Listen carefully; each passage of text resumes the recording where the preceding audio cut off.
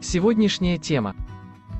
Наталья Водянова опубликовала в Инстаграме фотографию, на которой предстала перед публикой в безупречном наряде. Для уютного селфи 38-летняя модель выбрала элегантный и роскошный наряд, модное черное платье в узор от известного российского дизайнера, дополненное черным бархатным ободком.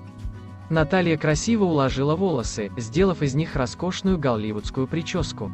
Макияж при этом был выполнен в коричнево-золотистых оттенках с акцентом на губах. Образ звезды выглядит стильно, изящно и актуально, он помог еще больше раскрыть женственность и грациозность Водяновой. Подписчики пришли в восторг от красоты любимой модели. Комментариях фолловеры написали множество теплых слов и одарили знаменитость комплиментами. Очаровательная, шикарная, красотка, удивительный человек, прелесть, сногсшибательная, обворожительная красавица, очень хорошо выглядите, неземная, очень стильный и строгий образ. Красота, можно прочитать под постом. Ранее Наталья Водянова покрасовалась на пляже в необычном кардигане, сравнила себя с матрешкой, повязав платок, и снялась в образе школьницы. В начале сентября, напомним, модель вышла замуж за миллиардера Антуана Арна.